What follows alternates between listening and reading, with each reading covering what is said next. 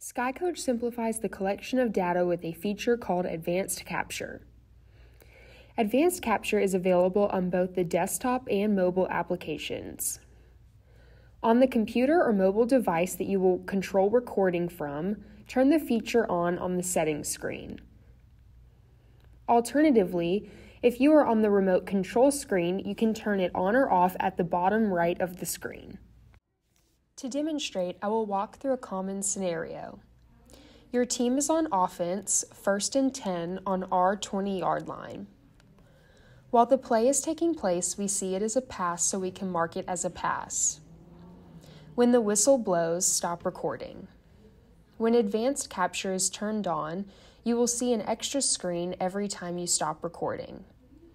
The advanced capture screen will pop up and it has a section for the play that we just finished recording and one for the next play. There are two ways to capture down, distance, and yard line.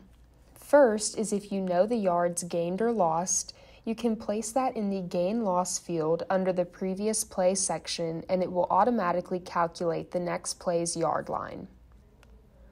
Or you can enter in the next play's yard line and the system will calculate how many yards were gained or lost. For this play, we will enter in the number of yards gained and see that the system calculated second down and five on our 25 yard line. Click Done to take you back to the record screen. The second way to capture down distance and yard line would be to start recording a new play this one will be a run.